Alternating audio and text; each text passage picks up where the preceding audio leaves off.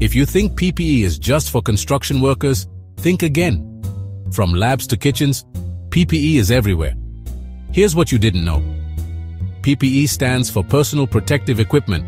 Think gloves, masks, goggles, and more. It all starts with high-quality materials like durable plastics, specialized fabrics, and even metals. These materials go through strict testing for toughness, flexibility, and protection against hazards. Then, machines cut, mold, and assemble everything, making sure every piece meets safety standards. So, why does it matter? PPE shields you from chemicals, germs, sharp objects, even loud noises.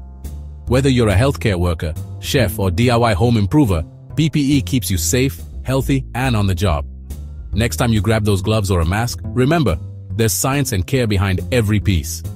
Master your safety. Master your job. Watch the full video now.